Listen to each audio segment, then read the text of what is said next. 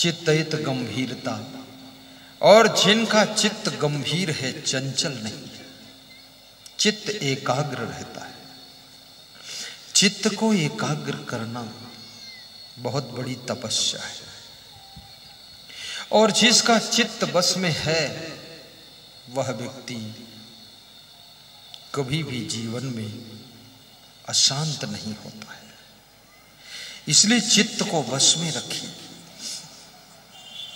चित्तित गंभीरता। आचार्य सुचिता, हे राम, तुम्हारा आचरण बहुत पवित्र है। आचार विचार इतने शुद्ध हैं आपके, इसलिए तुम भगवान कहे जाते हो।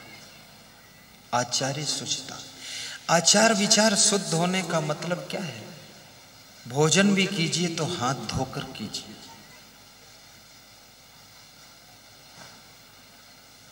और धुले हुए चम्मच से साफ़ चम्मच से घी निकालिए।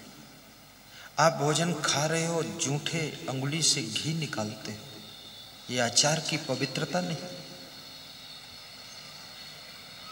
और खा रहे हो, साथ में भोजन। अपने आप सभी रोटियाँ छू रहे हो। ये पवित्रता खो गई। कितनी महिलाएँ बनाती भी और साथ में खाती भी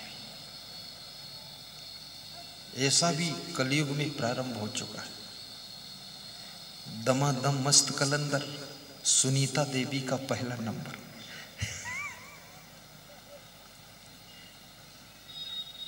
बनाना साथ में मत खाना। खाना हो, चेक करना हो, चेकिंग की जाती है। अलग कटोरी में ले करके, अलग बैठ करके, टेस्ट चेक करिए। उसके बाद हाथ धोकर, कुल्ला करके फिर बनाना शुरू करिए। बनाना और खाना साथ में नहीं। जिसके घर में झाड़ू बुहारू सफ़ाई से लगता नहीं है, वो आचार विचार शुद्ध नहीं।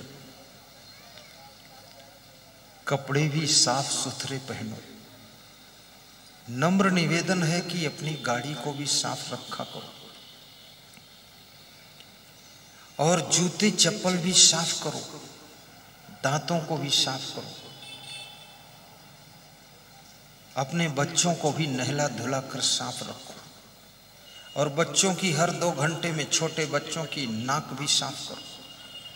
कितने बच्चे माता पिता लापरवाह है और नाक की रबड़ी बनाते रहते हैं। माता पिता खुश होते रहते और कितने माता पिता भी बड़े विचित्र है। बच्चे की नाक पहुँच अपने साड़ी में लगा लेते हैं। और कभी उनके घर हम पहुँचे तो उसी साड़ी से मेरे पैर पहुँच देते हैं कि थोड़ा माल आप भी ले जाओ महाराज। इस साड़ी में मत पहुंचिए, साड़ी को साफ़ सुथरा रखिए।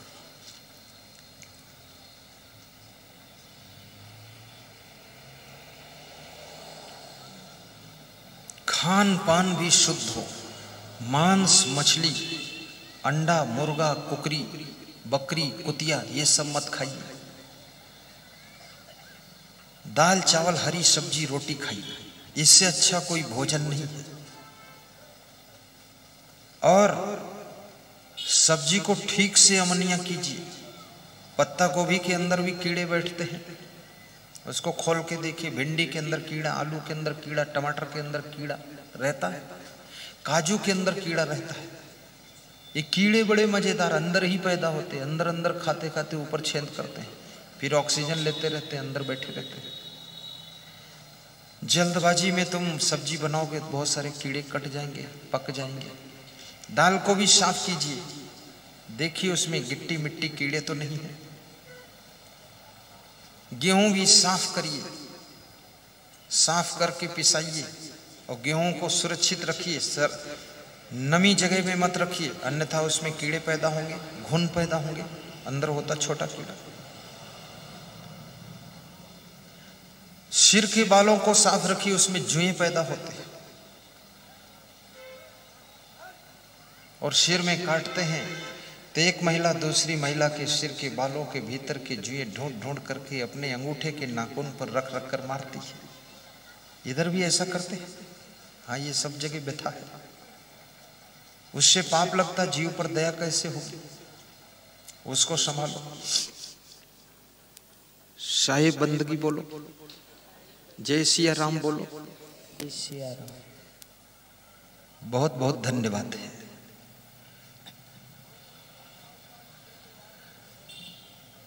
घर के बिस्तर भी साफ़ सुथरा रखो।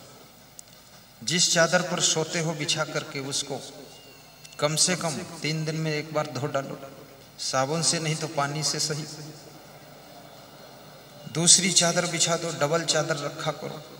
तो मन में सोचो चादर मिल जाएगी। और जिस बिस्तर पर दिन में ज़रूरत नहीं, उसको उठा कर रख दीजिए अलग साइड में। ज़रूरत है तो ही बिछा रखिए।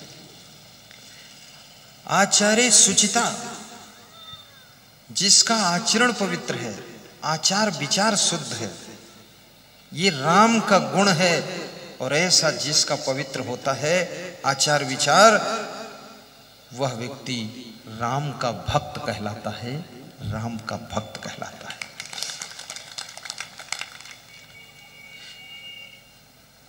गुणे रक्षिकता नए नए गुणों को नई नई कलाओं को सीखने में रुचि होना चाहिए। ऐसा गुण हो आपके अंदर कि नया सीखूं अच्छा सीखूं। सीखने की भी इच्छा रखो।